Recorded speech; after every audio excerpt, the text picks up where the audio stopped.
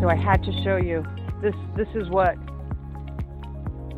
this is what we have for waste from this new net. Look at it. I threw that.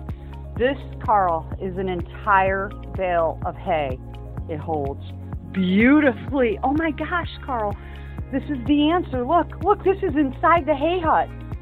No wasted hay, none, zero, zilch, no wasted hay. I'm excited about the the hardware I chose to mount this.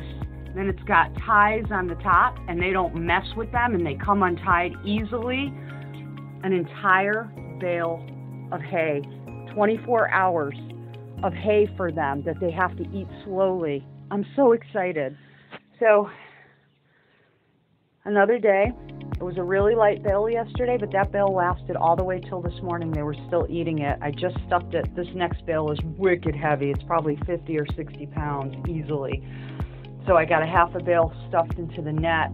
And this is it. This is it for anything falling out that they're not getting, but they're actually eating it. And there's nothing outside of the hay hut.